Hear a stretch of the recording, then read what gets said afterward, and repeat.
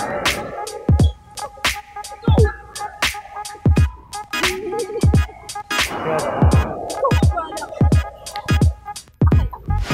guys, welcome to Be Kami. And today we will find out if guys will give me their numbers in front of their girlfriends. Let's go!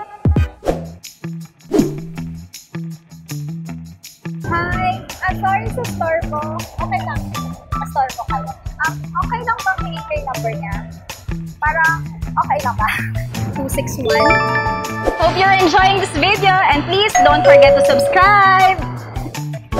May tanong sana ako sa kanya. Hindi, okay lang, okay lang. Ah, but oh, patanong ko lang sana kung okay lang makuha yung number mo. Ah.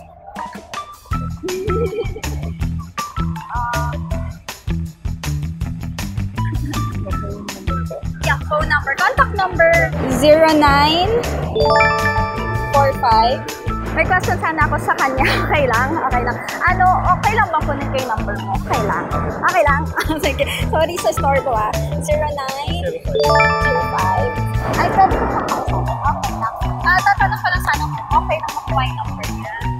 I mean, may, may, ah, ganon.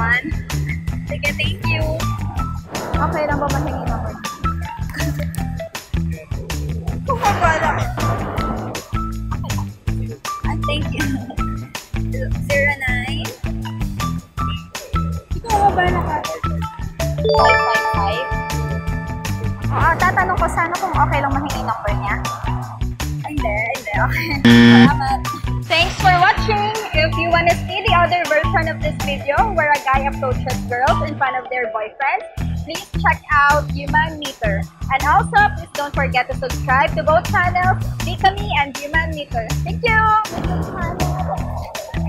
Sorry ba? Kasi magkakalit. Thank you!